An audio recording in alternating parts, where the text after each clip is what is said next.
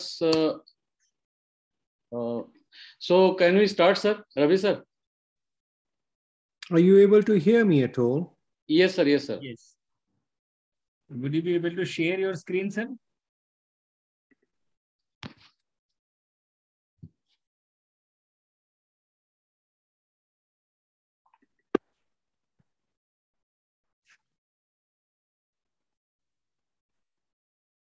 Hello.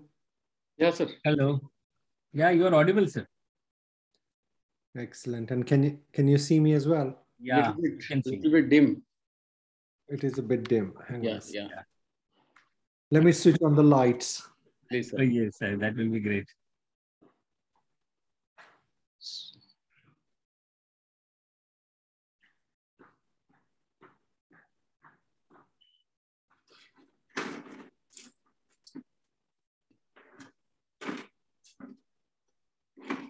You have lovely scenery outside. Well, you asked me to close it. no, no, actually everything. Is that any better? Better, better. Much better. Yes, yes. So, sir, I'm starting. So, I just have a uh, just brief agenda of the today's meeting. Uh, I am Dr. Gunadhar Padi, uh, consultant intensivist and coordinator, uh, uh, Apollo Hospital, Navi Mumbai. So, basically, these programs are for our DNB students. Every week we conduct, and I thanks all the panelists and all the uh, delegates who have joined, and uh, special thanks to Dr. Ravi Kumar, sir.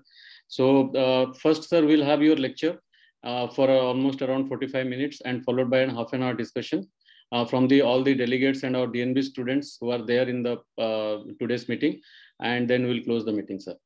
Uh, so I would like to share your slides, sir. By the Mhm. time I'll just introduce the other panelists so that uh, the meeting can be started. Thank you.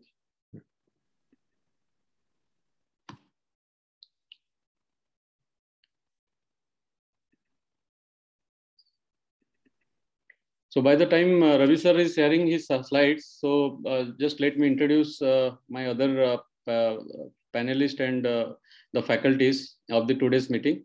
Uh, so uh, my colleague Dr. Achilles uh, from Apollo Hospital Mumbai, consultant intensivist, and uh, he will he and myself will moderate this session. And we have today other uh, eminent panelists with us, like Dr. Deepak Govil.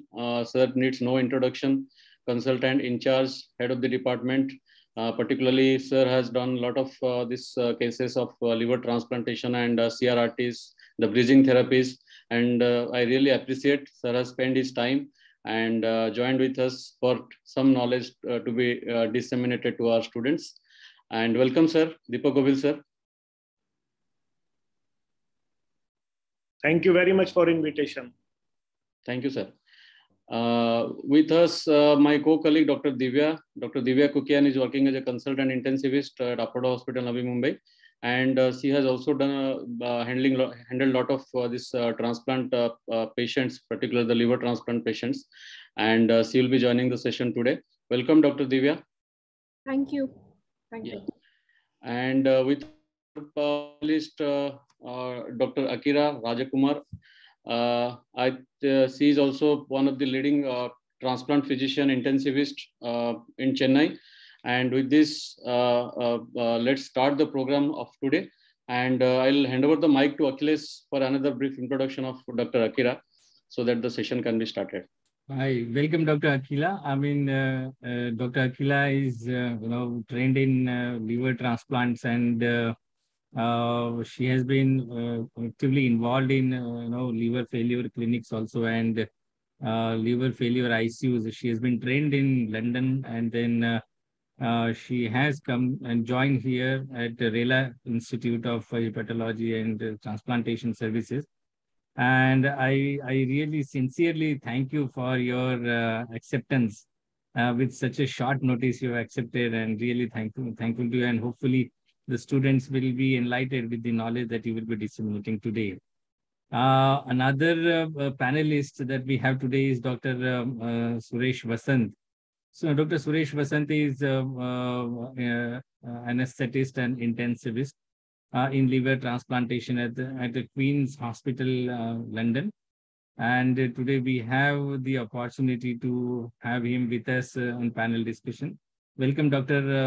Suresh Vasant.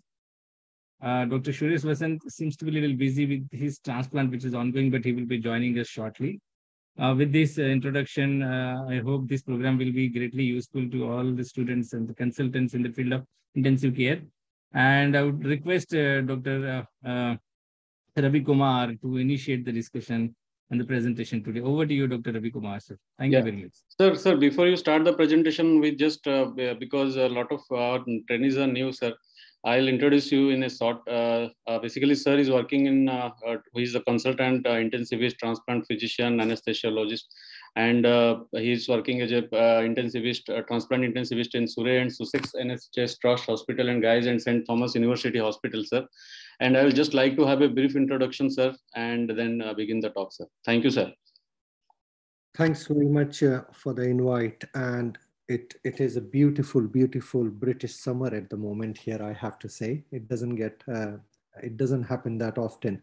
So my name is Ravi Kumar. Um, uh, with regards to introduction, I am, I trained in India, in Delhi. Um, I did my MD medicine and MD anesthetics uh, back home, and then I trained here again in medicine and anesthetics and ICU.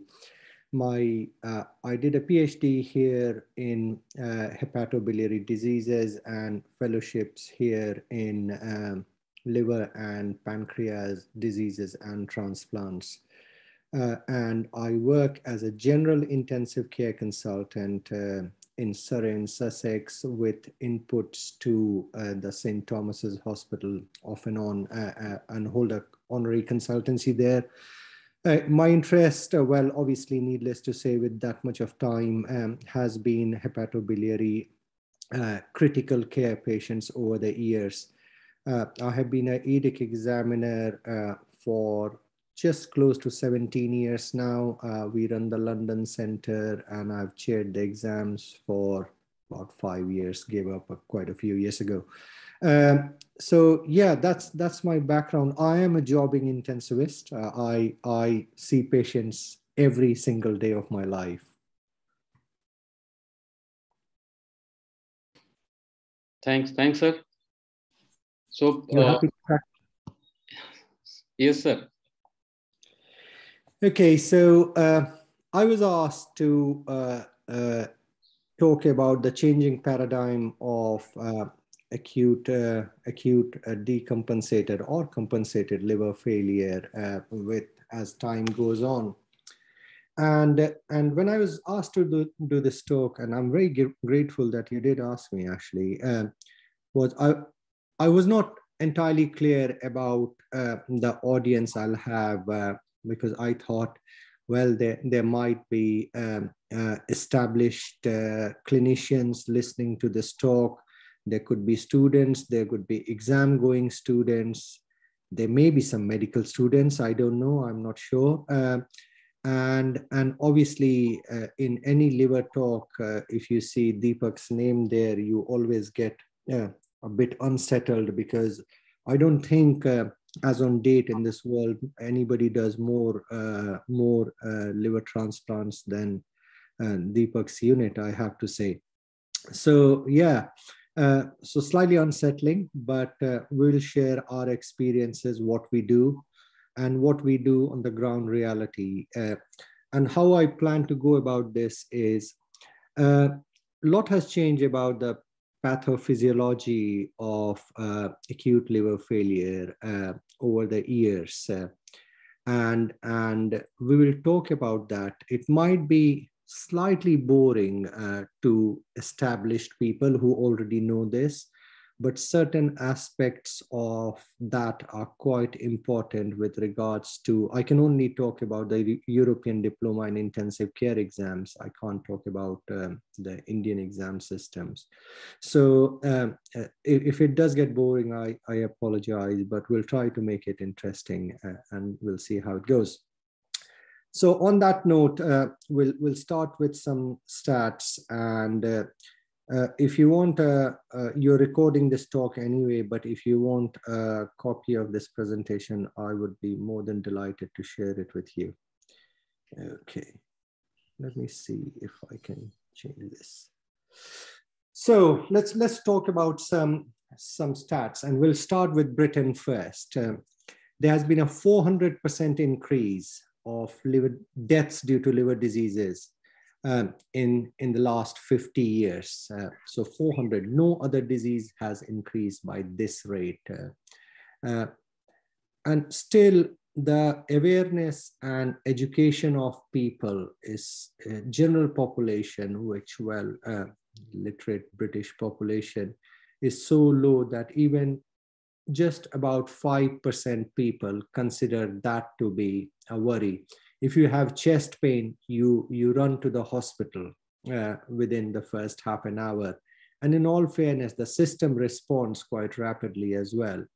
However, if you start to get yellow, you sit there and, and, and you mull over the problem, it will all get better. Um, uh, and, and let it linger. linger. 94% of British adults uh, think that uh, your life has gone out of track and you've lost control over life if you drink alcohol and subsequently get a disease to alcohol. So the social stigma is, is very badly attached. And actually, talking about the social stigma, uh, we did an audit which was published in JICS about seven years ago now, and we were looking at prejudice of intensivists for admission, admitting um, acute decompensated alcoholic liver diseases to intensive care in their first admission. And, and the results were quite, quite telling really, because there was definitely uh, uh, an element of bias against these people. I hope by end of this talk, you will understand that actually these people do deserve a chance. And if we manage them properly, they do well. If you look at the community, you know, uh, there are a lot of people working in the community, irrespective of which country they live in, with compensated uh, cirrhosis. And they do have a life. Okay. Yes, their, their, uh, their lifespan is certainly shortened and their tipping points are certainly lower, but they do have a life. Uh, okay. Moving on. The problem with liver disease in particular is it is essentially a disease of the young. Uh, it, it takes away working life. Uh, you know, 62,000 years of working life are lost every year in Britain as on date, secondary to alcoholic cirrhosis and related deaths. 90% of liver diseases happen mainly due to alcohol, obesity, and viral hepatitis. And increasingly, the viral hepatitis is being seen more in expat population. Uh, and uh, and uh, uh, so, and the proportion of alcohol seems to be rising by the day. So these are all preventable in all honesty. The, the vaccination program and the awareness of hepatitis is, is much, much more higher than it used to be about 20 years ago uh, when I started here. So on and around, uh, as per the British Liver Trust data, um, and this is about six months old, we do about a thousand transplants a year in this country. Most of them are cadaveric. Uh, and at any one time, there are 350 people waiting. So we have phenomenal, phenomenal number of deaths uh, from end stage liver disease uh, for, for people who actually can't get an organ. Uh, so it, it is kind of a dire situation and seems to be getting worse. Okay. I'll finish with this, won't bore you too much uh, with this. Uh, uh, uh alcohol per se is 60% of all liver diseases causing hospital admissions and subsequent morbidity and mortality. About 8,000 people die from this every year. Mind you, we are only a country of 60 million. Uh, so that is a huge, huge number, seems to be rising by the day. And needless to say, uh, this is this is no brainer or rocket science really. That uh, that the more deprived you are, uh, the higher you are likely to die from alcoholic uh, uh, liver diseases. I practice in Surrey, which is one of the most affluent parts of the UK. Uh, uh, comes up uh, in, in top five affluent parts uh, in the UK. We see a lot of alcohol here. And, and what I've started calling them is, so if you look at my geographical area, it is full of bankers and very wealthy businessmen and hedge fund owners really. Uh, and we still see a lot of alcohol in them. I call them cryptic alcoholics, right? And, and the reason I keep call them cryptic alcoholics is if you ask them, they won't say they are addicted or they won't say alcohol is a problem. But when you look at them, you you know by the bedside that dude you are drinking a lot aren't you and when you actually delve into their history they will say to you yes i do drink a bottle of wine with dinner every night. And then you say what what when the friends come over? You say oh we might go up to three or four bottles. And what about weekends? Oh i might go uh, to to my house in france and and we, we will have a good good weekend. So i call them cryptic alcoholics. They don't die as much as as people from the dep- deprived area. And that's probably because they are well nourished and uh, and and they do look after themselves well but alcohol does remain a problem. Costs us about eight, eight uh, 7 billion in productivity and uh, about just under 4 billion in direct costs every year. This this is our data and this is uh, from the last census uh, uh, and uh, if you look at our mortality, this is the most worrying factor. You see the trajectory of how the deaths from liver diseases have gone up um, in the last 50 years. Whereas what is more worrying is the trend of deaths from other diseases seems to be either stabilizing or consistently going down. You could argue that, um, you know, uh, they are they are more glamorous diseases and more resources and research has gone into it and the government intent has gone into it as uh, as well. So you could argue a case of a bit of a bias there as well uh, as i was saying earlier. This is the international data with regards to uh, uh the the top figure. I it may not be very clear but essentially the top figure is about um, the, the mortality of males and females around the world. And you see Central Asia uh, tops that list. Uh, uh, but uh, but if you see uh, Southeast Asia isn't that far. The, the big difference between Southeast Asia and Central Asia there is the, the gender bias seems to be more, uh, i.e., there may be a preponderance of uh, males drinking more than females. And I'll come to this in a minute uh, because it is quite significant. The bottom graph uh, is, is about the risk of compensations and decompensations and subsequent death uh, in different genders. Uh, female tends to, to decompensate more as compared to uh, as compared to males. So they are the absolute numbers are still higher for males, but the preponderance of female decompensation seems to be getting more. And this is, this is a particularly worrying factor, especially metropolitan cities anywhere in the world. It does not have to be the Western world. You go anywhere in the world, and, and if you look at the data that is coming out, is the level of female drinking is massively, massively increasing. Um, and, and the sad part of it is the incidence of smoking along with alcohol in, in females seems to be going up. Uh, my colleagues uh, in the panel might disagree with me on that one, but we'll uh, take it uh, when we come to the question time later. Uh, this is again a similar kind of graph, uh, so, so I'll skip this one and essentially I've said what I wanted to say in the previous slide on this one.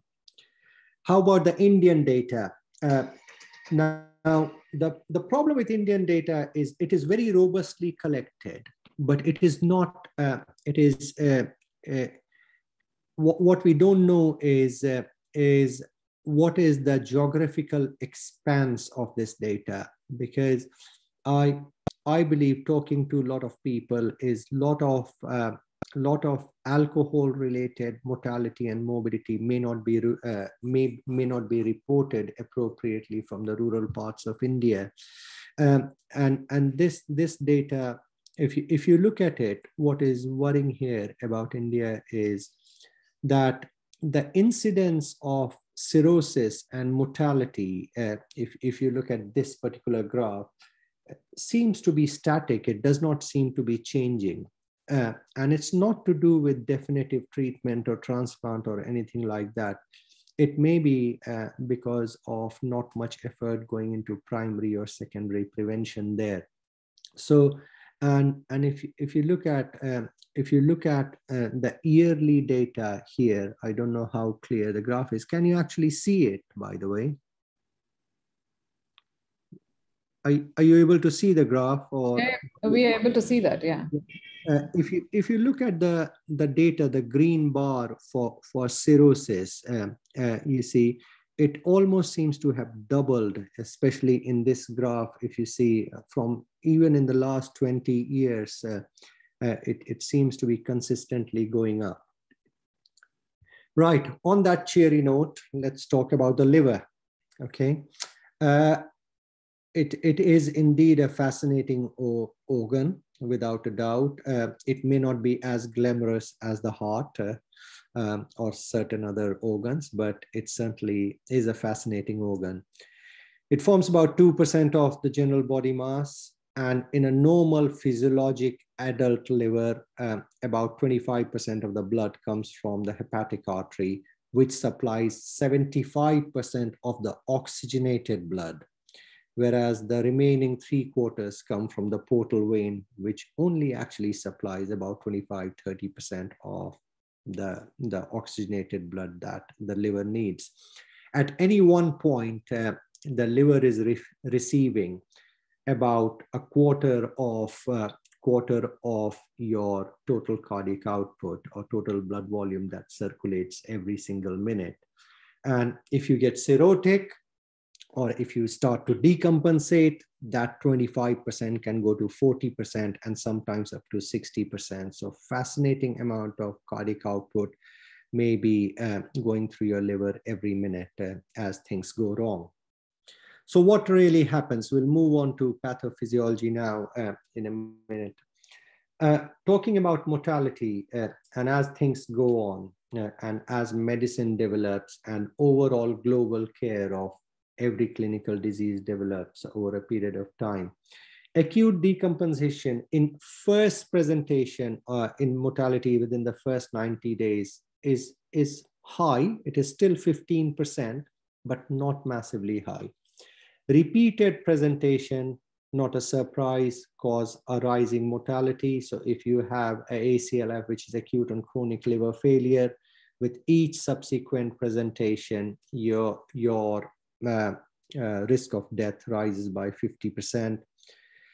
In 40% of the time, you will always get these patients um, who will have a telltale signs of, of liver failure, but you will not be able to pinpoint a cause. Uh, uh, some people call it cryptogenic liver failure, some people call it idiopathic liver failure, but uh, uh, surprisingly enough, uh, uh, acute fulminant liver failure from uh, you know things like which were standard exam questions like the paracetamol poisoning.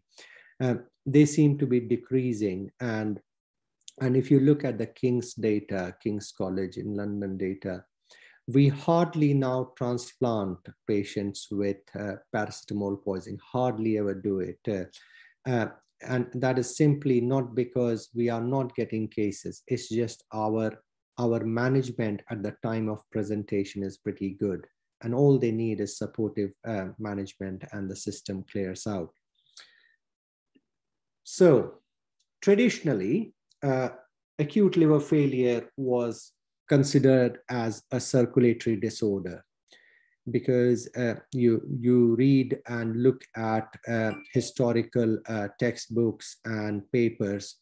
And all it was was uh, there is portal hypertension uh, secondary to splanchnic vasodilatation and uh, hence hence the portal pressure rises and rises and rises till a varices burst and the patient has hematemesis and then he gets a SBP and subsequently uh, causes death.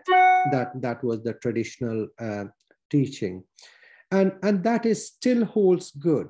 That still indeed holds good, but it is not the only cause. So if you think about the definition of cirrhosis, it the two, two caveats to cirrhosis, or, or the two essential criteria for being cirrhotic is you need some degree of nodularity and you need some degree of fibrosis. What does that do? Uh, it, what it does is it increases the fibrosis, increases the intrahepatic vascular resistance. And uh, the, the massive uh, liver is a massive, massive reservoir of uh, nitric oxide and nitric oxide-like vasodilator products. So it reduces the splanchnic vascular resistance. Now that happens probably because of uh, myofibroblast, and we'll, we'll talk about in a later. They tend to squeeze the hepatocytes a bit too much, and there seems to be a surge and a um, uh, of, of, these uh, vasodilators causing a drop in vascular resistance. So what then happens is uh, obviously uh, your effective blood volume decreases because the system is so vasodilated and that manifests as hypotension.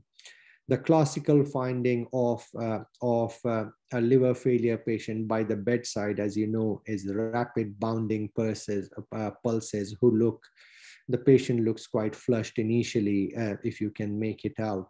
Uh, a vasoconstricted liver patient is bad news. Uh, you know, you, they, they will probably die uh, irrespective of what you do. And then what also happens is uh, because of the toxins release and all that, and uh, and constant uh, constant uh, release of particularly IL-6 within the system, uh, these patients tend to get a cardiomyopathy, which causes a diastolic dysfunction in these patients, causing diastolic failures and hence the cirrhotic cardiomyopathy body does try to compensate for it. It really does it particularly well and and it's the standard physiology uh, you know if you have any kind of hypovolemic shock what happens in physiology your uh, renin system gets activated you have a high high sympathetic drive your vasopressin systems get activated what happens as a consequence then is um, because of mainly because of the avp and the raa system the body tries to retain water. Uh, and as a consequence, with, with, with the aim of increasing the blood volume. But what happens as a side effect or collateral damage to that is uh, it causes significant renal, uh, renal vasoconstriction. And then what happens is eventually the nitric oxide uh, stores are finite to vasodilate the system, including the kidney. And and glutathione synthetase uh, uh, uh, activity does get exhausted. It is time limited and concentration limited. Let's talk about portal hypertension a bit. Uh, I won't go into uh, why portal hypertension develops uh, and, and the basic physiology is in medical textbooks and essentially it is increasing resistance and, and, and increasing resistance and increasing flow through the system and bypassing of the collaterals. But what is increasingly coming out now uh, and with the, the better ultrasound skills that intensivists have across the world um, is, is uh, increased importance or recognition of uh, hepatic portal vein gradient or, or, hepatic pressure vein gradient. Um, and and it is now a given. It, it is a bit like measuring ejection fraction. It, it is a very steep learning curve but once you get the hang of it you can get a guesstimate of it and it's not too bad really. Uh, as long as you're under 10 you're fine. At about a pressure of 10 millimeters of mercury you start to develop collaterals. And up to this point it's fine. You can have collaterals and and things are okay the problems arise uh, arise when you start to hit or cross the double figure marks. The higher the number goes beyond 10 uh, of HPVG, uh, uh, the, the higher the incidence of bleeds. So if at, at a HPVG of about 15, you have a very high risk of bleeding. If it goes between 15 and 20, you start to get ascites. And more than 20, you definitely, definitely start getting encephalopathic. The other reason, so historical teaching of portal hypertension was uh, that, uh, that uh, uh it uh, happens because of fibrosis and uh, no, increased flow. There is structural resistance, but increasingly the role of stellate cells and myofibroblasts, as I was mentioning earlier on, is being increasingly recognized. Because what happens is, uh, when this happens, more and more hepatic stellate cells get recruited into the system, and these are contractile cells yeah, and, and have some pul pulsatile nature in them. So as they more and more of these get recruited, they tend to squeeze the, the portal system more and hence increasing the blood pressure, uh, the portal pressure with increasing time.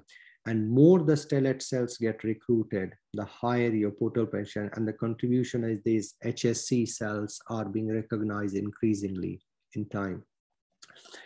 This can be, this can be controlled. The sim, simvastatin uh, in decompensated cirrhosis, mostly the Child-Pugh uh, class B in preclinical study has shown some remarkably positive results, remarkably positive results.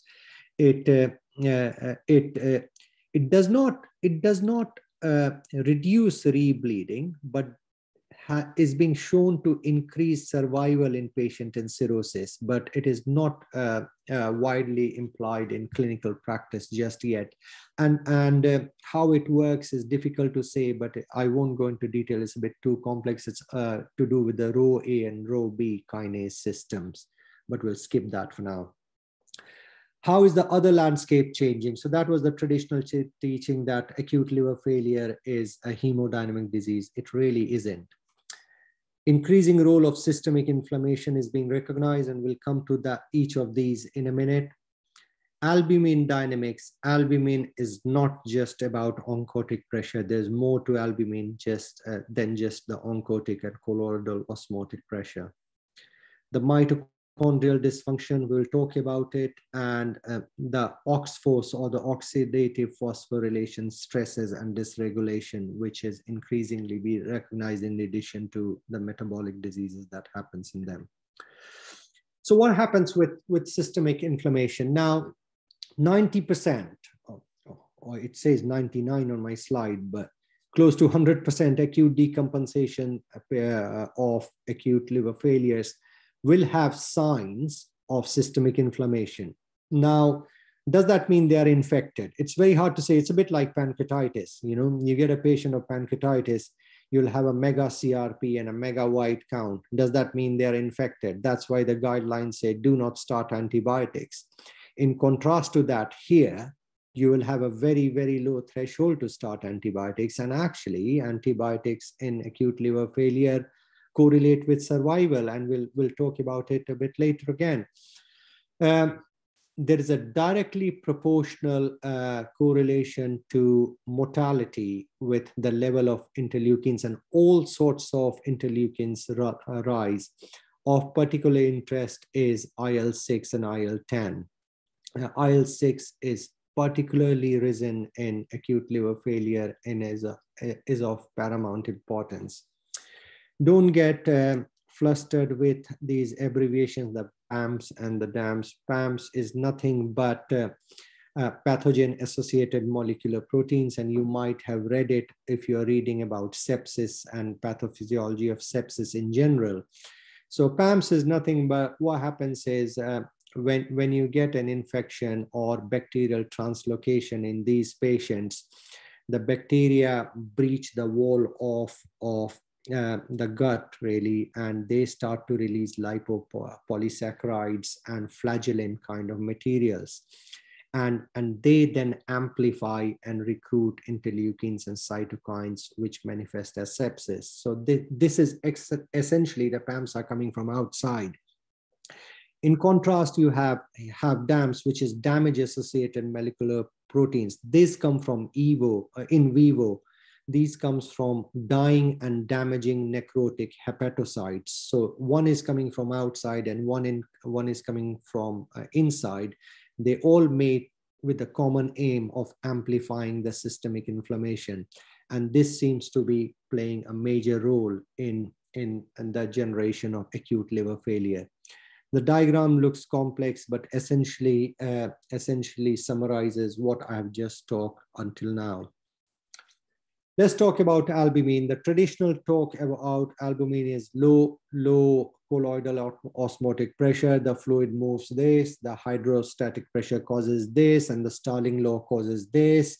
Hence, top up the albumin, they will get better. I wish it, it was that simple. Albumin uh, is not just a fluid. It, it is a protein binder. It transports stuff. It detoxifies stuff natural albumin is pretty pretty strong antioxidant and you know it does have some effect on immunomodulation what happens in patients with cirrhosis and under the effects of the PAMs and the DAMs that we've just discussed is the cysteine residue, the cysteine terminal of the albumin molecule gets, goes some radical changes. Um, uh, and, and as a consequence, the conformation of that albumin changes. So rather than being a detoxifier and a kind of anti-inflammatory agent, it starts to sway on the pro-inflammatory side sides, and and that is why uh, that is why the albumin, which should be beneficial and protective, starts to become a cause of concern. Now you give these patients albumin from outside, does it achieve the same effect? The answer is not to the same degree, but certainly to some extent, it provides both quantitative and qualitative.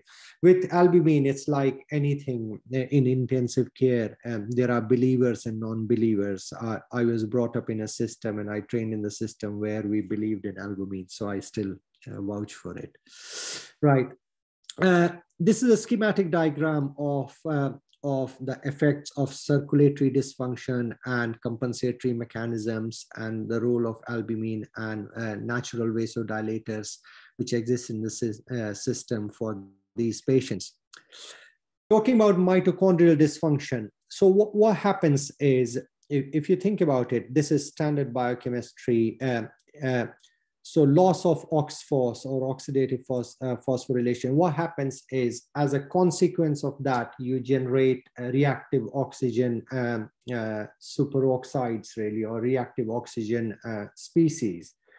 And, and uh, particularly the peroxides, they are spectacularly damaging uh, to already weak liver. Uh, not to mention that, as you know, that aerobic metabolism will generate 36 ATP uh, per molecule of glucose, whereas you take the glucose away uh, uh and, and your uh, generation of ATP becomes one anaerobic, so creates and further acidotic environment, two makes the system supremely inefficient. What about the metabolic changes? So what happens is uh, uh, that your aerobic metabolism is glucose dependent uh, for its efficiency and generation of ATPs. And with increasing time as the liver starts to fail, uh, hypoglycemia, as you know, is a bad sign in liver failure. Um, that, that means you are uh, reaching an end of the game here and there's not much you can offer uh, short of transplant. Uh, it does come late if they are managed early properly, and it is the cells that get starved or the glucose and the anaerobic uh, metabolism predominates. What then happens is, uh, and any any catabolic affair is is supremely destructive, and liver is no different. Physiology books will say that you can actually lose 80% of your liver and still live, live a reasonably normal life. And that is still correct. You only need about a quarter of your liver to live a normal life. But um, when you get starvation deprived, you start to eat on your proteins as a source of energy.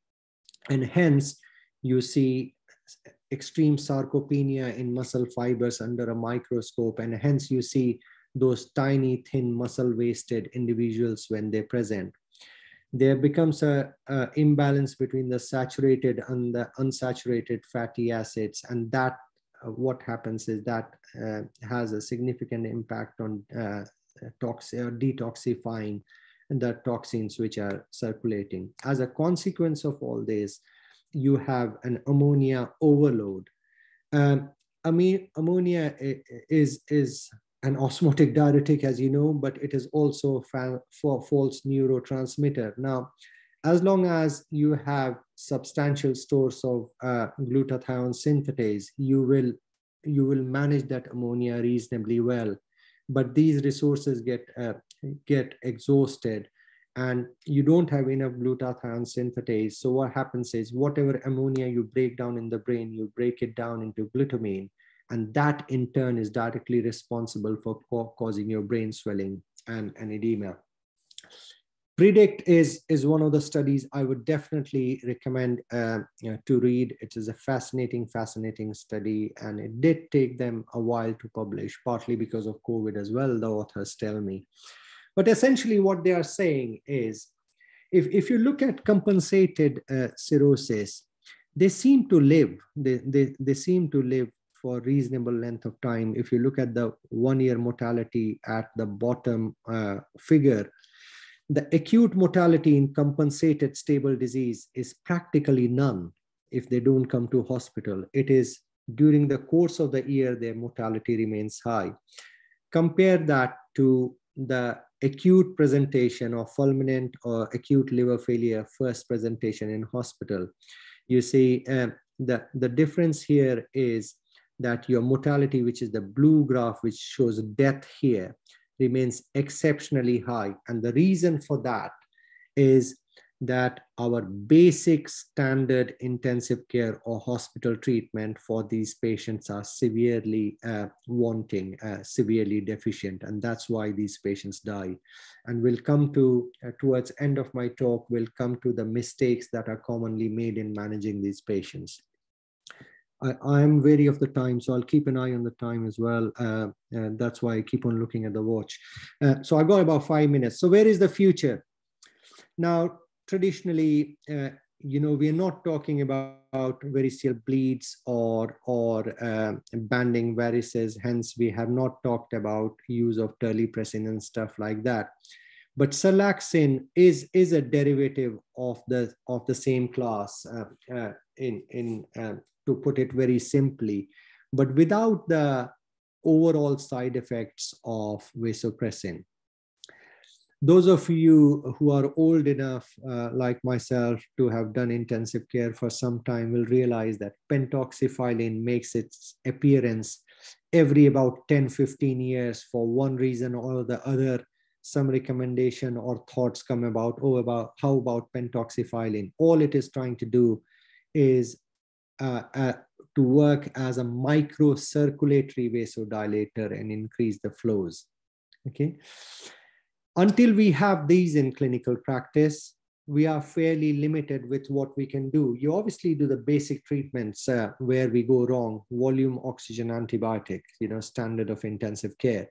Uh, but uh, until then, albumin and terli are, are the, the only definitive treatment which can make uh, changes to the outcome. Yes, there are other uh, garnishing or, or fi finesse uh, drugs that you can use, and we can talk about it in the discussion when we get there.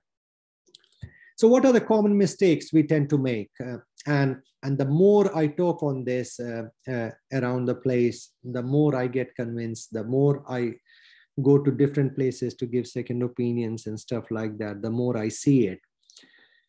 PPI, so proton pumps inhibitors, grossly misused drug in this pathology. There is this school of thought that, oh my God, they have had a variceal bleed, give them a megadose PPI for rest of their life, otherwise they'll rebleed to death.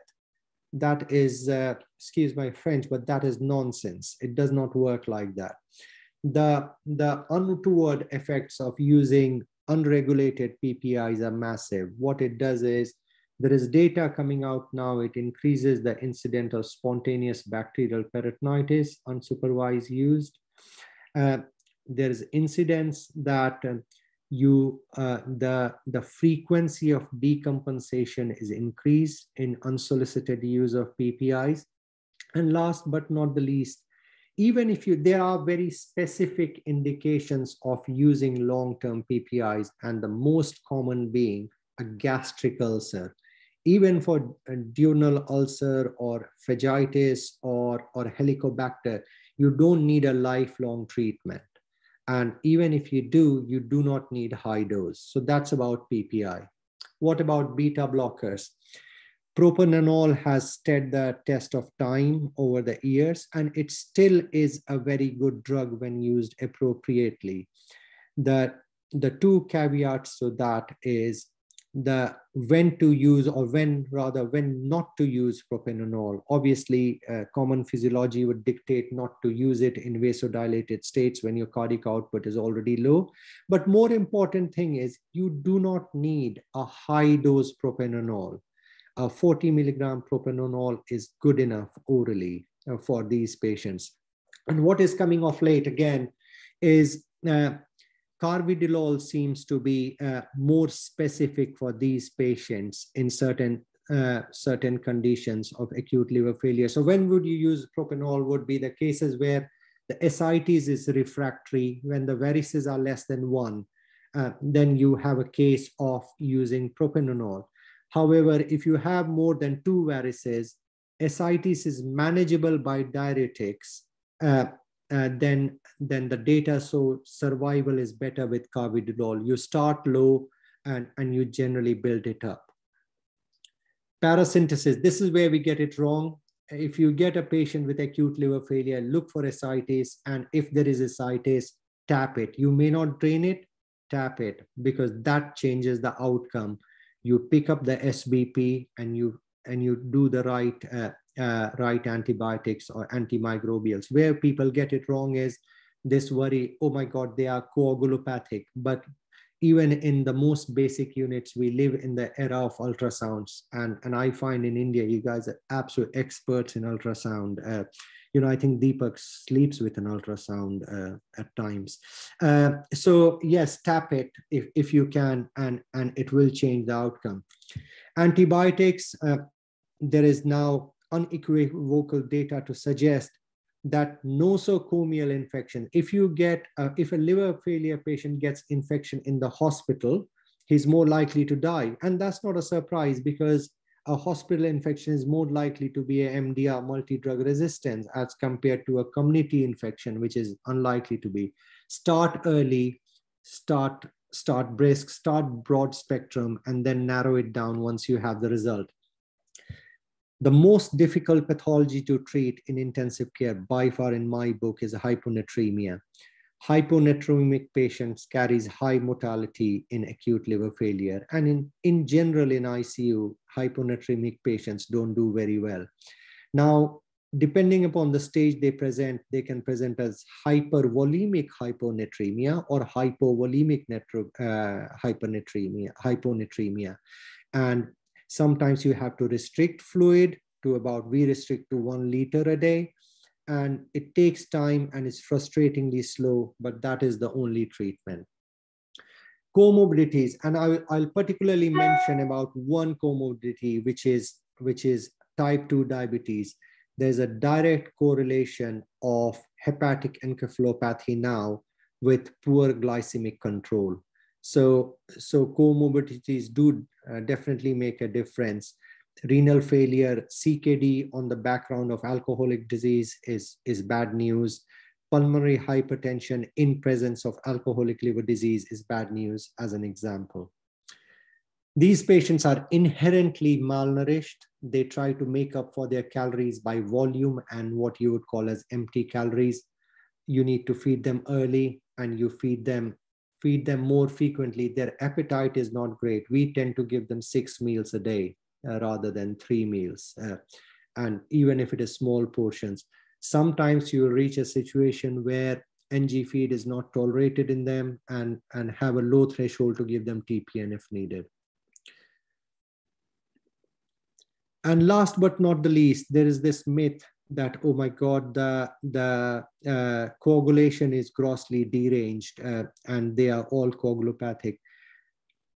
By and large a liver failure is a procoagulant disease although your numbers don't reflect it. Unless you do a proper TEG or rotem you will realize yes your aptt your platelets your inr is all over the place but bar bar esophageal variceal bleeding these patients do not bleed. If you talk to our uh, chair panel member, Dr. Govil, he will tell you that they never, never reverse the coagulation in liver failure patients where they do trachees. And, and this was a learning point I learned from him many years ago.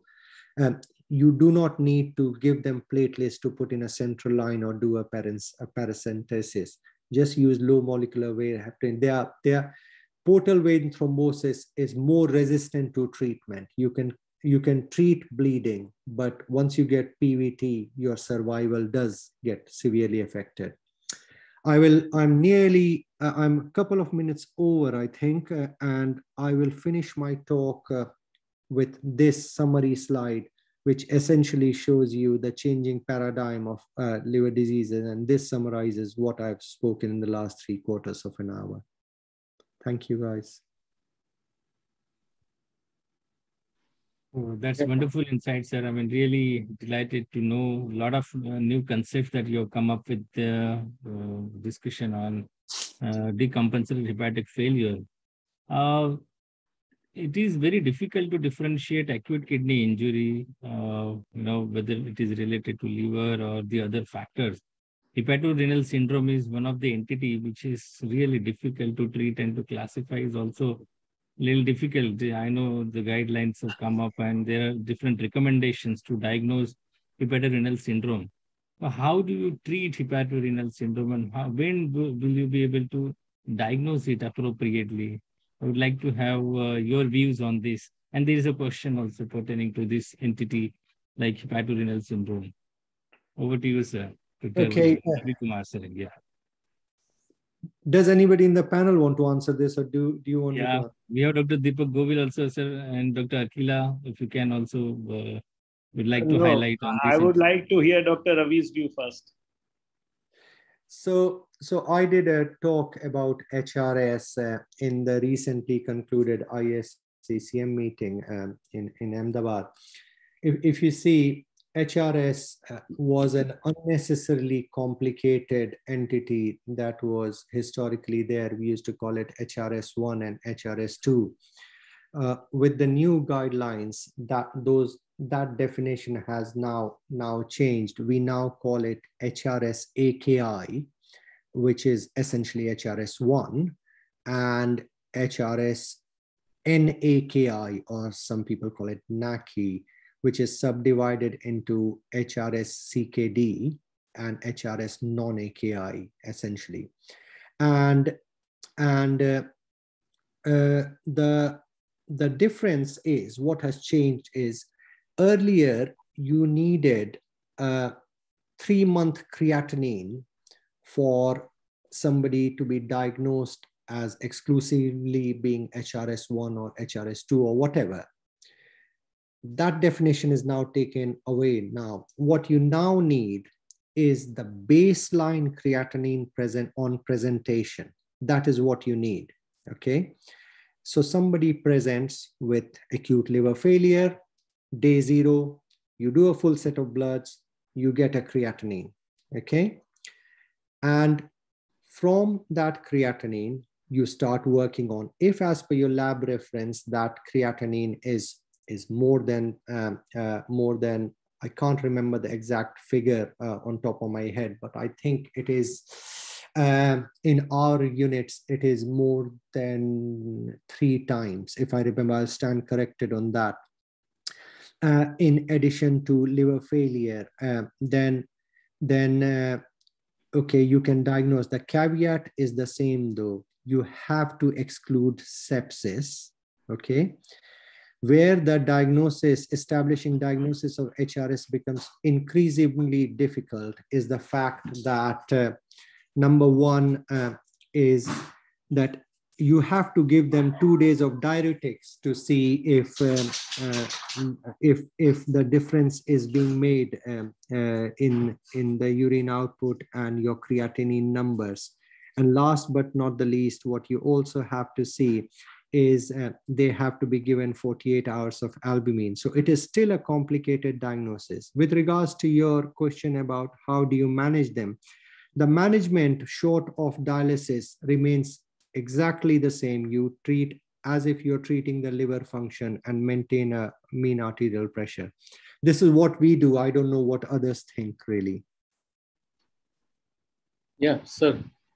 So, so, uh, so before going to sir, uh, this question, basically, I would like to uh, uh highlight uh, some of the important uh, interventions in a bridge to transplant in the liver failure patients. Uh, particularly, I will request Dr. Deepak Govil sir because uh, sir is uh, uh, means very expertise in doing a lot of this uh, therapies like plasma plasmapheresis, like CRRT. So, in which situations these things can be initiated, sir? If you can guide for our fellows and our students, Uh, it will be a great help, sir. And there is a question also from one of our uh, students, sir, from that respect. Plasmapheresis, CRRT, MARS, and albumin dialysis. Uh, I can see this question the role of Mars Prometheus albumin exchange in ALFSO and plasmapheresis. So there are two distinct things. One is when we are planning to do transplant and we want to bridge, like in Western world, it is sometimes becomes difficult to get a donor. But in Indian context, when we are having a live live donor, a related live donor, sometimes we can plan the liver transplant easily Sometimes when there is no donor, then it is not plannable. So there are two distinct situations as far as in my clinical practice. One, patient is ALF is there, family is getting somebody from family is getting worked up for uh, donation, and then we have to bridge that one to our time. And another possibility is where we know that in North India, I'm sure that Dr. Akila's place they are having much more cadaveric transplants. But in our place, we hardly had any cadaveric transplants.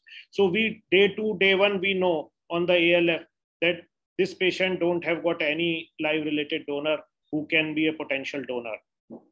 So then we know that either whatever we do, whether you call it a bridge or it call a desperate. So in this situation where there is no possibility of getting any donation or new liver, then of course we go for plasma plasmapheresis, no doubt about it. So if bilirubin is high, patient is, is ammonia is high, having sign of um, encephalopathy, brain edema, then we go for plasma plasmapheresis, no doubt about it. But in that situation where we know that in a day or two, some family related is uh, relative is getting worked up for potential donor, and patient might get a um, donor, then sometime we try to uh, wait for little time maybe uh, 24 hours or so for uh, plasmapheresis. But if creatinine is high, if ammonia is high, CRRT we start straight away. Sir, any cutoff for ammonia means in such kind of patient? It is not the cutoff ammonia. It depends on. I'm sorry, I uh, used the wrong word. It is not the ammonia. It, mainly, it is the cerebral edema or the sign of encephalopathy. Dr. Akila, can you highlight your practice? Um, in um, thanks, Dr. Govil. Um, in uh, when we consider as a bridge to liver transplant, there are several modalities which have been researched everywhere, and as you rightly said, the only evidence base so far is plasmapheresis. So um, any patient who comes to us with the fulfilling criteria, we subject them to plasmapheresis. At least three sessions we give them. Um, because it's very difficult to predict which patient will recover or will uh, require a transplant. So it's better to support them from the early stage. And uh, CRRT is initiated when there is sustained hyperammonemia more than 150. That predicts the onset of cerebral edema. So when it's persistently uh, more than 150 micromoles per liter, we um, start off the CRRT. That's what we do. But uh, one one thing which is different I, I think it's it's not very common in the north india is the yellow phosphorus poisoning that is very common in south india. So these are patients who have severe form of acute liver injury but they do not have acute liver failure. We do not have great guidelines as to how to manage them but ltsa has come up with the consensus guidelines so they recommend using plasmapheresis in these patients even without acute liver failure, without encephalopathy. In uh, with ALI as well, we can start using them. So these are the indications of plasmapheresis in our unit. Um, other extracorporeal uh, support devices that there was a question that I saw in the ch um, chat window about Mars and Prometheus. We do not have any experience because in, in all the reviews which have been performed so far, they have not shown any survival benefit in patients with acute liver failure. But there was one interesting finding which has come up recently, I think in February, US ALF study group, they've looked into their uh, patients over the last 21 years, and they have said that Mars does improve survival in patients listed for liver transplant. That's a little relatively new finding, which is evidence-based. But having said that, it's not a prospective study or a randomized study, retrospective database study. But none others have shown survival benefit. And uh, what about the uh, CytoSorb uh, in, in case of this acute liver failure? How frequently we use, Dr. Akila? we've never we've never had to use it actually. We've never used it. There are a few case reports uh, suggesting it might work but again uh, no robust evidence to just so, so i've just replied to that question really. Uh, uh with I completely agree with dr Akila with regards to mars um, there's a machine sitting on the side. We hardly ever use it. Uh, uh, I, I think it is very important to understand that Mars is not like a dialysis machine. Mars is only if you're going to transplant, that's only when you use Mars. Please correct me if I'm wrong. That is number one. Uh, with regards to CytoSorb, uh, we don't use it, we don't believe in it, and, and our, our reasoning is by the time these patients actually present to you in intensive care, the whole uh, whole idea or physiology of using. The whole idea of using the CytoSorb is gone because the cytokines have done what they need to do. So it's pointless to use CytoSorb. We don't use it, and we have never used it. We did try it when it was first brought in. Last but not the least was a question about Lola. Uh, Austrians use it a lot. I have seen it used. Uh, I'm not entirely sure about the benefit because uh, we believe that similar results can be achieved by simpler things. Uh, that is our take on Mars, by the way. There has been increased use of uh, N-acetylcysteine. I mean, um, every uh, physician or intensivist must have really prescribed N-acetylcysteine for all patients with the liver failure. Uh, what is your take on uh, Professor Ravi Kumar and all the panelists? I mean, whether it should be used uh, when which is the ideal indication for uh, use of N-acetylcysteine i know paracetamol toxicity there is definitive indication but in liver failure per se especially with high sky high liver enzymes what is the role of N-acetylcysteine uh, can you just highlight on I that? i can tell you about my uh, our practice. Uh, we will give NAC to everybody full stop. You know irrespective if they if if the liver functions are massively deranged irrespective of the pathology uh, we will give NAC to everybody for two reasons. One uh, it is a very benign drug. It only has minor side effects a bit of vasodilation if given too quickly. Uh, and two uh, resource constraint wise it is not a super a supremely expensive drugs and I would be quite interested in what others think as well. Actually, yeah. What is your take on uh, Dr. Divya about the N-acetylcysteine? N-acetylcysteine, uh, definitely the role in paracetamol poisoning is well known.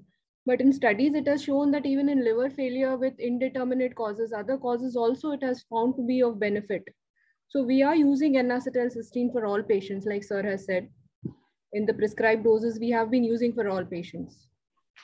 Wow. And, uh, sir and Dr. Akila, a, what is your view on this? Yeah, there is a there is a question for the dose of the NAC, uh, Dr. Akila. So where there are various doses. So what is the ideal dose? Means in what dose you use? Uh, first of all, going by the use of NAC, whether it's indicated or not, is paracetamol poisoning. It, there is no doubt about it. But this has been an age-old practice. I agree with Dr. Ravi Kumar. We use it on all patients with acute liver failure. Uh, as he said, it's a benign drug and been in use for a long time. We, we are worried about stopping it. Um, maybe it acts by improving the sodium as uh, people from King's believe it. It can improve the sodium and it can work in acute liver failure that way in an indirect way. I'm not sure how much of it is contributory there. Yes, we would definitely use in all forms of ALI or ALF. And, and how long do you all use it? Um, uh, this, is, this has been proven that any use beyond five days is of no effect, even with paracetamol poisoning. Paracetamol poisoning, I think the most recommendations are for 72 hours, but this has been proven that beyond five days, there's no use of it. Yeah. Sir, another question from uh, uh, Bina, uh, Bina uh, is from uh, the ammonia level sees uh, means want to ask uh, so arterial ammonia or venous ammonia, what do we check actually, and what is the significance of uh, different ammonia level in different blood gases? So Govil sir. Look, ammonia level, as Dr. Akila has said, 150 correlates with uh, cerebral edema, but what I have seen in my clinical practice, it's very difficult to say which is the cutoff. So it is much better to rather rely on ammonia level to look for the cerebral edema, where it is and how fast it is developing. And on the bedside, we can use the um, ultrasound to identify the potential patients, and then we can plan for CT scan. Incidentally, at our institute, we are having a portable scanner, so that is not a big challenge to get a repeated CT scan done, except the radiation risk and the cost. But again, ultrasound helps in identifying. As far as the uh, ammonia venous and arterial, again, it's a debatable. Many places, everybody practices the arterial ammonia. But in a ALF, if patient is not having A line, then repeated puncture becomes a very difficult and challenging task many times. But of course, majority of these patients, we put arterial line just to avoid all these things. Repeated ABGs are also needed. So most of the time, we rely on the arterial ammonia. Dr. Ravi or Dr. Akila, if you want to add anything. Now, of all the lab parameters that we've seen so far, ammonia is the one which is prone to have a lot of false uh, values actually. It depends on how you sample them and how quickly you store them and process them. It has to be transported in ice cold uh, way actually so there'll be a lot of problems in the way they measure it has to be in a standardized way i think if it comes from a liver unit which does it all the time then you can rely on the values coming from outside you do not give much importance to one value alone you'll have to see how is it measured so that is something which uh, a word of caution to all the postgraduates here and arterial is always better as dr govil said uh, we go by arterial ammonia so another question is uh, regarding the cerebral edema. So the question, if Dr. Divya, if you can highlight, what is your protocol regarding the cerebral edema management for ALA patient? Cerebral edema, we, we don't use any uh, invasive monitoring for that. We uh, go by clinical parameters or we do transcranial Doppler. We've also been using optic nerve sheath diameter to look for uh, changes every day in our ventilator patients. As far as management is concerned, uh, it is uh, to give absolute uh, sedation, bed rest, uh, ventilate the patients if they are encephalopathic, avoid any stressors which might increase the ICP. We also use hypertonic saline and maintain a target a sodium of 145 to 155 in all these patients. So what will be the ideal osmotic therapy here? 3% saline versus mannitol. I know it, it may be a stupid question, you know, so many studies have already shown that 3% saline may be equivalent uh, to mannitol, and mannitol may be harmful, maybe may cause acute kidney injury. But I really want to know uh, from all the panelists and uh, Professor Ravi Kumar also, I mean, in a real-time situation, if you have to use it, which one would you choose? 3% saline versus mannitol?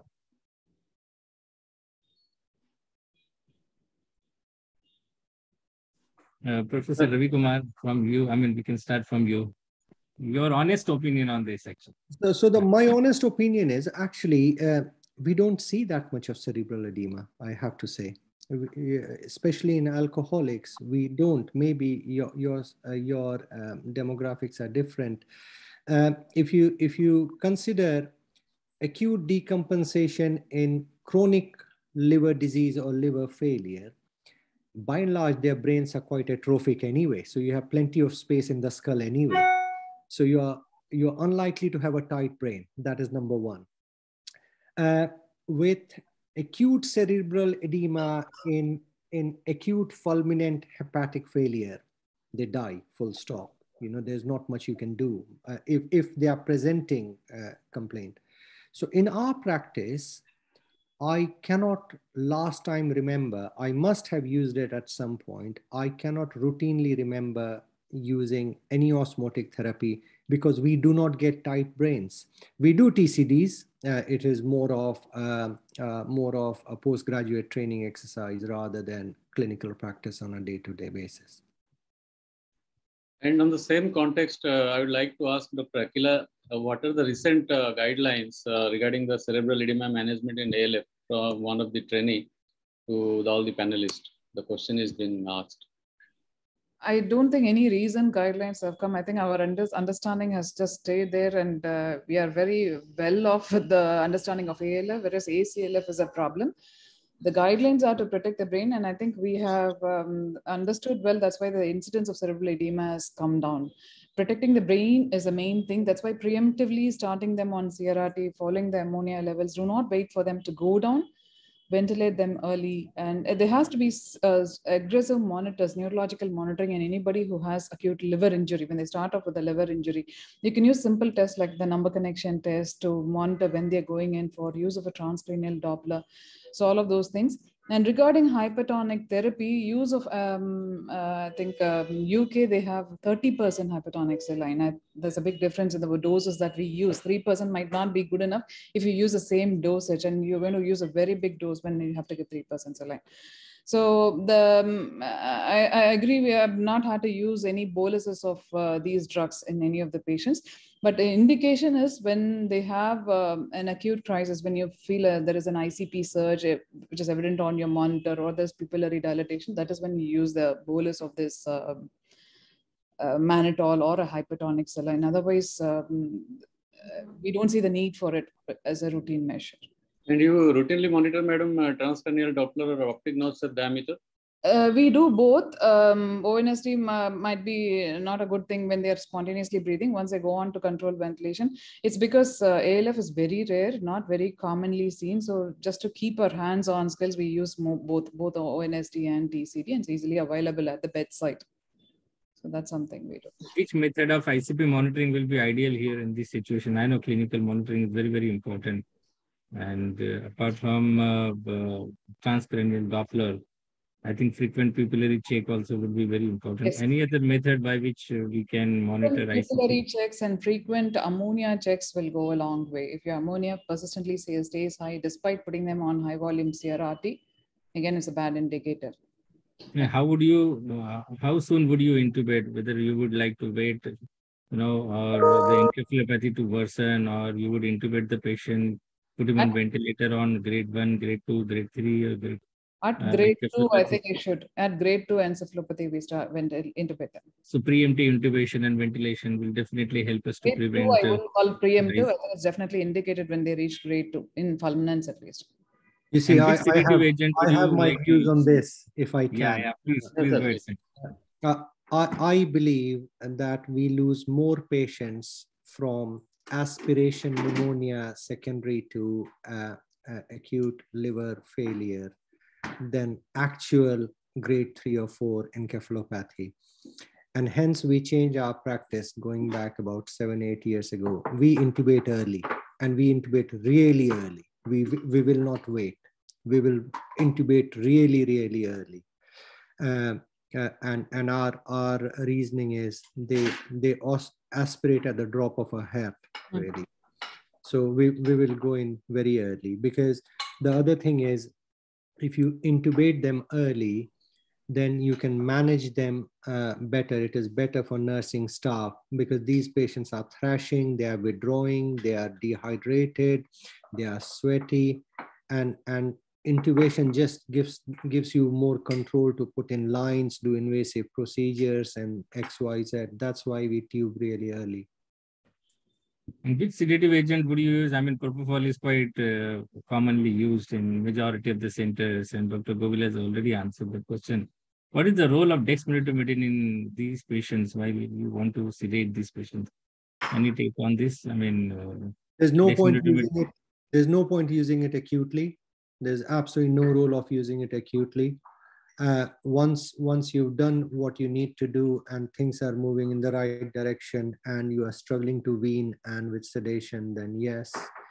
Why, why use something which is so expensive and complicated? Really, you know. You, you, uh, yeah. Uh, we do use dexmedetomidine sometime in initial phase when the patient is in grade two and he is too restless or in withdrawal when he's like fighting and thrashing everybody and want to pull out everything. Most of the time at that juncture, everybody decides to intubate. But sometime if you are not intubating a short time period, that time this DEX can be used. That is what we are doing. I'm yeah. Say that this, this has been found to be very useful. We are using.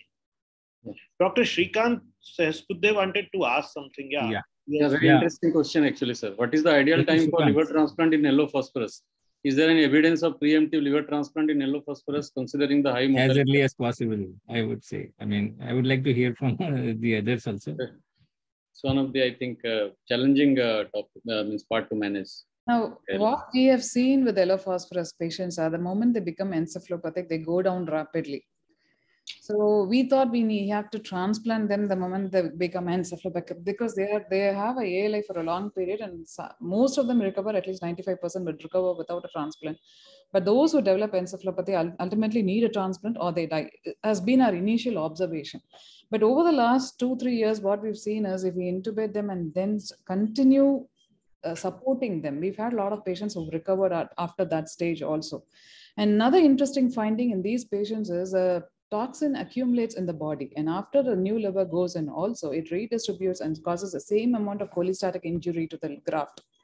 So we've had struggle with two of our patients where we, we, we had to plasmapherese them for a long period. Uh, we'd lost a patient also. So that changed our uh, thing that we don't have to aggressively transplant them immediately after they become encephalopathic and they get intubated.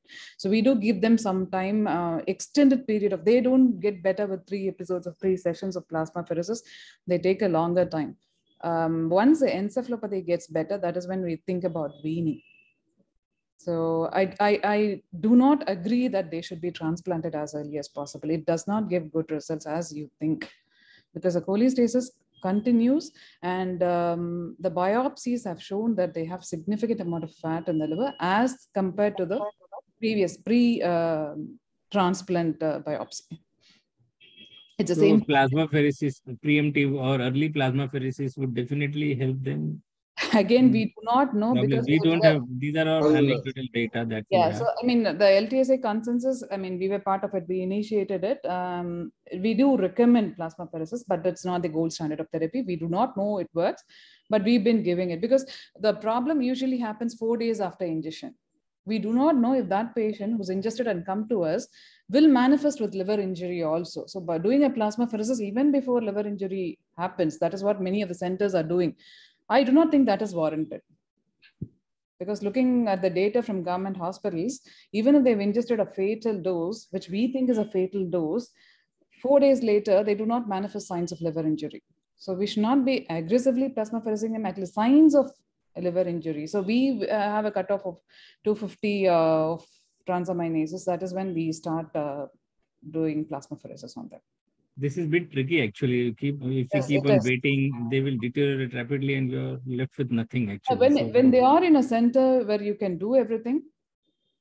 And uh, madam, uh, the same thing uh, by from Dr. Srikant Sahasrabudhe. So, what is the uh, physiological basis of plasmapheresis in these non-immunological patients of yellow phosphorus? Any of the panelists, if if, if uh, Govil sir or Ravi sir also can want to talk on this. I have no idea. I've never seen one. I don't even know what it is. Um, I, I am also not having that much experience in yellow phosphorus patients. I have seen only very few in my clinical practice here. Madam, what is your take? Again, we do not know what it does because it's a protoplasmic poison. We're not removing toxins. We're definitely not removing the toxin by doing plasmapheresis. We think it might work on the SIRS part. Yeah. SIRS part and the supporting liver. Supporting liver, yeah. little bit the byproduct of the liver failure, they are being removed. Definitely the ammonia is being removed. The other toxins like, likely to be removed. So maybe that way it may be helping. Sir, on the same same contest, uh, the uh, one of the uh, delegates has asked, like, if you do this extracorporeal therapies, so does it uh, confound the patient for the uh, uh, liver transplantation? Because sometimes the is it uh, sometimes the transplantation get delayed because the patient is improving or some kind of things. Is it a confounder all the extracorporeal therapies? but I think we definitely gave get some time to really think whether that patient will require transplant or not. It gives so us all some these time extra, really as Dr. Akila has already said, all these extracorporeal therapy, the evidence is still only with the plasmapheresis, and little bit evidence and much more established practice is Mars after plasmapheresis. I would say. There are few centers in Europe who are like die hard for plasma, uh, Mars and still continuing, but others they have got very less like it's a, just a case series presentation. So if you are desperate nothing to do if you want to do something if somebody is trying it is difficult to comment upon. And uh, sir what about the infection risk? Because some centers they prefer to do CRRT instead of uh, doing the plasmapheresis because uh, they feel that it increases the chances of infection look the chances of infection is there in every extracorporeal circuit whether it is a CRRT or plasmapheresis or torre or cytosorb wherever we are taking out blood and sending it back, there are multiple connections, there are multiple joints, there are multiple points where it can be get contaminated.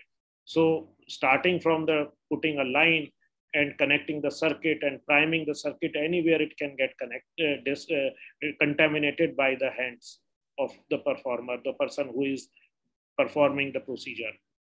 So again, the risk is always there. If I compare I'm sure Dr. Ravi and Dr. Akila can comment on this also. If I compare plasmapheresis vis-a-vis CRRT, I would say in my mind, the risk of infection is same, except in plasmapheresis, we have to replenish the antibiotics because those antibiotics which are protein bound, they will go down the drain. So we have to load those antibiotics again. If we don't do that, then the circulating blood level, the blood uh, trough level of those antibiotics will go down, and then the they will not be effective. That is my take on. So that is only difference between CRRT and plasmapheresis, which I can see. Even in the CRRT, we have to increase the dose of few antibiotics, which are water soluble and going down the drain. So if we are not doing the, those changes and sepsis is breached, asepsis is breached somewhere, then you had it. Dr. Ravi and Dr. Akila can also highlight their experiences. Now, when it comes to plasmapheresis, it's more or more of a non-selective removal, isn't it? It removes all complements and immunoglobulins. With CRRT, we've understood the dose modifications which are required with antibiotics. That is not understood with plasmapheresis. How much needs to be replaced? So I think there is a difference there. And we did see high, high incidence of sepsis in patients who've had plasmapheresis. We used to do them for early allograft dysfunction, post-transplant, post-LDLT. But we did see a higher incidence of uh, septic complications in those patients. We do not know, we can't attribute it to the procedure alone. These are patients who've been cholestatic, IML, been sick for post-op. I mean, that could have contributed, but that's something we've seen. Going by theory, I think plasmapheresis might have a higher risk of infectious complications because they seem to be removing all the protective factors, immunity factors as well. So it, it's all theory. I mean, there's nothing comparing the, them without uh, for the incidence of sepsis. Dr. Ravi Kumar, do you, I mean, we have seen we have seen absolutely no difference in infection. What you must realize is the pathology. Mm-hmm. You have got a pathology where a patient is at a four to six time higher risk than a normal individual septic patient to get a severe infection. So the, the pathology is there. You're a sitting duck. It does not matter what cannula where you put. They are a higher risk. Uh, I cannot vouch and say one is more infective than other. Uh, I do not think that there is a difference at all, really. So there is one question, which type of plex uh, is recommended? I think centrifugal plasmapheresis is more uh, beneficial. Uh, what is your take on uh, this entity, uh, Dr. Akila and Dr. Govil sir? I mean, what do you think? I think uh, all of you all, I mean, must be doing centrifugal plasmapheresis. No, we are not doing centrifugal plasmapheresis. Earlier, we were doing centrifugal plasmapheresis, but we have shifted to the um, pump-based plasmapheresis and we are using the CRRT machine for plasmapheresis. There were two, three reasons that uh, blood bank people were not interested in doing the high volume plasmapheresis with extended time. We do close to 30 to 40 bags of uh, plasma and take it to six to eight hours of plasmapheresis, which they hardly do because they are time bound people. And then many times they want to put saline or albumin in place of plasma, which we don't do and then they want to put some steroids, some uh, Avil, some other fancy drugs just to avoid any reaction, which we hardly do. So uh, in last four or five years, we have completely taken over the plasma plasmapheresis from this blood bank people, and we don't have got centrifugal pump except in blood bank. So we are using our own CRRT machine. Okay, I don't know whether it's 40, right practice or wrong practice. 30 to 40 bags of plasma is still, I mean, I think it's still very high uh, volume plasmapheresis, I guess. I mean, with plasmapheresis, I mean, six to eight bags of plasma should be sufficient. And we can... No, it's not sufficient. If you hmm. go to the literature, the evidence which is coming up is a high volume plasmapheresis.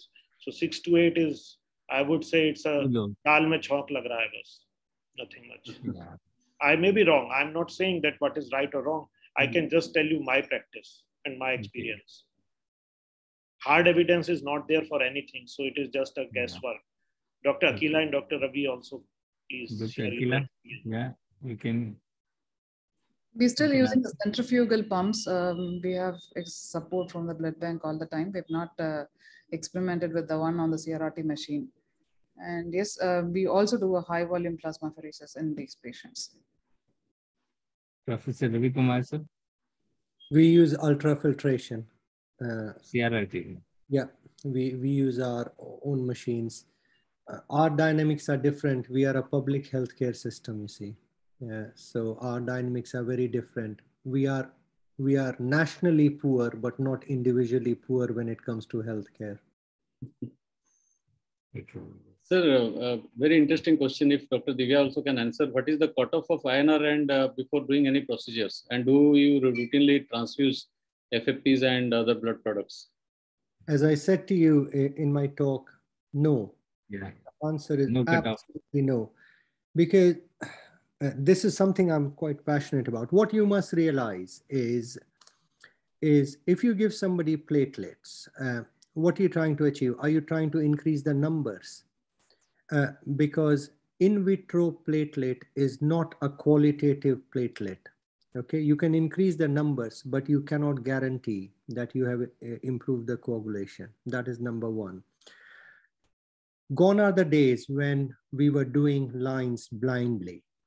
Okay, we now do lines under direct vision in real time. I do not see a point of reversing coagulation I mean, the expert is sitting in your panel, ask him how many trachees he's done without reversing coagulation in liver failure patients. Yeah? We never, we never do. The only time we will give them some factors is if the platelets go below 20. Okay, because there is some weak evidence that the incidence of intracerebral bleeds goes really high up below 20. It's not a it's, mm. it's not a robust evidence. And what about INR, sir? What cutoff value of INR basically? Uh, suppose the INR is 5, 6, till you uh, means uh, put a line without giving any FFP or any, or do you do a TEG? Uh, we, we do early TEGs in these patients. So we, we hardly, yes, we see INR and this and that. We, we hardly rely on them, to be honest. Why, why would you rely on INR in a liver failure patient when you have a TEG? Absolutely. TEG is not available in all the centers except some corporate hospitals. It's not available in majority of the hospitals probably. They're no, getting I, guided by INR values. Yeah. I, I get that completely, but uh, all, all I'm saying is uh, clotting factors for invasive procedure in liver patients all it does, it gives you a false sense of security. It does not reduce bleeding, is my view, but I'll stand corrected. They are always in a they are in a procoagulant state, as you already say, like in so the INR values may not have any implications pertaining to insertion of lungs. See, some of the patients are on midodrine. What is your take on midodrine? I mean, would you prescribe or would you differ from writing uh, midodrine to your patients? I mean, I still have a query about this. I'm, I'm curious to know what is the role of midodrine in patients with the liver failure. Sir, Govind sir. Yeah. yeah.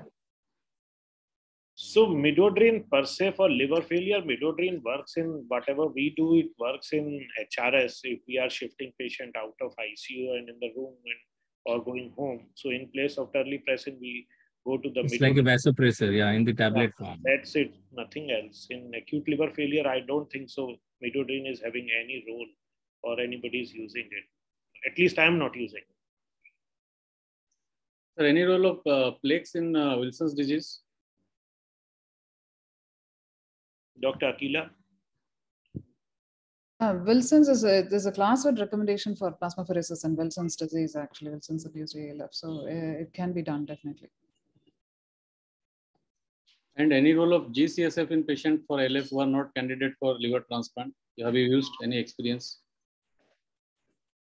The question is from Dr. Babu to everyone.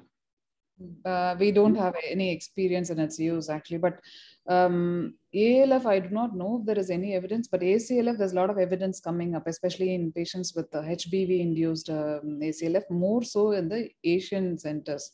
One from China and one from India also have, have shown some evidence in the use of GCSF and ACLF. But I don't, I'm, I'm not sure if there is anything, any role in ALF. I mean, any studies have been done in ALF, I'm not aware. So we have been, we, we have used a lot of GCSF of late. Uh, uh, for HBV uh, failures, uh, and and it's very early to say whether it makes a difference or not.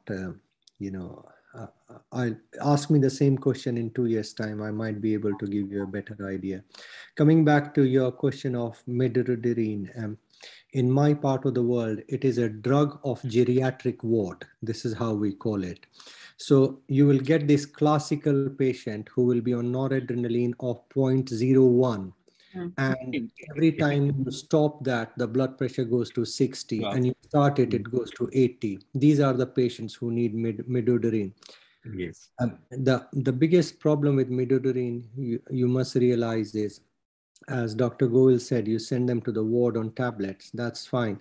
But after 72 hours, you get a tachyphylaxis to that drug but it's great for us as intensivists because by the time they are in the ward so it's not your problem anymore uh, so it's okay isn't it uh, so yeah we do use it but it's a drug for geriatric patients in our place sir any role of thrombopoietin analog in thrombocytopenia in ALF sir before no. transplantation absolutely none whatsoever i don't know if people will agree or disagree so, to it dr ravi can i ask one question to you yeah the dose and the regime of gcsf what you're using? As, as I said to you, boss, the doses are decided by the nurse. We just prescribe it. I don't know. I will I will let you know in a text what is the dose. Uh, I genuinely don't know. We we just prescribe it. Uh, and and uh, to be honest, uh, because of the dynamics of GCSF, uh, it is a three specialty decision. So it is decided between the intensivist, the standalone hepatologist, and the hematologist. Uh, it is not it is not a, a single man decision. So th there is a protocol, but I, I will look it up and I'll send it to you if you need to. Sir, I think we have no more questions left, and with the interest of time, uh, I would like to conclude the session. And before concluding, sir, just uh, your own one opinion on message to our all uh, new trainees and uh, fellow students, sir. Ravi, sir, anything you'd like to tell them? Well, uh, if you if you're talking clinical, then then I'll, yes. I'll say that if you get a patient of liver failure at 2 a.m. Um, uh, in the morning on your shift, don't complicate things. Just give volume, oxygen, and antibiotics, and and let time take its own course. Yeah. You know, sometimes yes. you just have to step back and let time work. uh, don't make it complicated. It is when you make complicated things go wrong, is, is my view. If you're talking about exam, uh, you know, uh, uh most of the things um, in my uh, talk were at some point related to an exam. So that is all I can say. Really. Sir, particularly during the EDIC exam, sir, because you are the examiner. Yes. So what what message, sir, you would like to give to our exam exam going students? Well, that that's a very generic question, isn't it? I'm not going to. Yes, go some of the students are uh, uh, going for EDIC exam also. So if you can highlight some of the important aspects but this this whole talk is about livers. It's not about the EDIC yes. exam, isn't it? That's yes. a talk itself. So we, let's not talk about yeah, that. Yeah. Uh, I would like to ask another thing to you. There are lot many trainees, and many of them are looking to go to United Kingdom for career enhancement, maybe further training or maybe a job prospect. What is how they should proceed, or what is your take on on that? Uh, the the the system is opening up massively of late, sir. Uh, you know, uh, if if you look at it, there, there is a there is a big uh, uh, recruitment drive, and and I think it will carry on. However, I always say this to young trainees who have young families that that the grass is always greener on the other side. It is not as good and soft at, at as it used to be once upon a time. Uh, the, the resources are constrained, the working conditions are difficult, uh, and uh, it is not the same what it used to. You will get the training, don't get me wrong. I, I, I don't think uh, you can match the training curriculum and the training standards, uh, but uh, you will have, you have to look at the, the whole package.